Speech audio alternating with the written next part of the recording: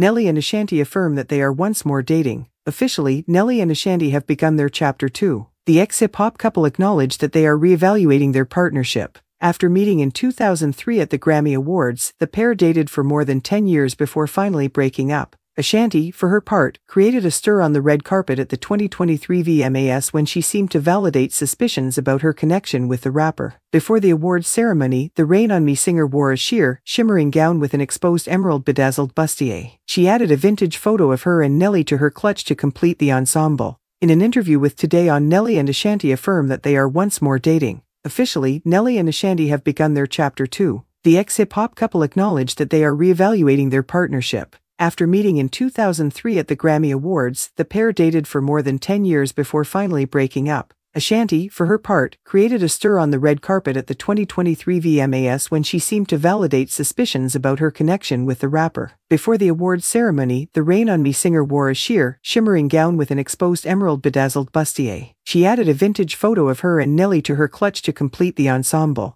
In an interview with Today on What We Carry Out, but occasionally, being apart helps you understand one other better. Nelly claims that taking a break from their relationship helped them both accept their new selves and have a deeper understanding of one another.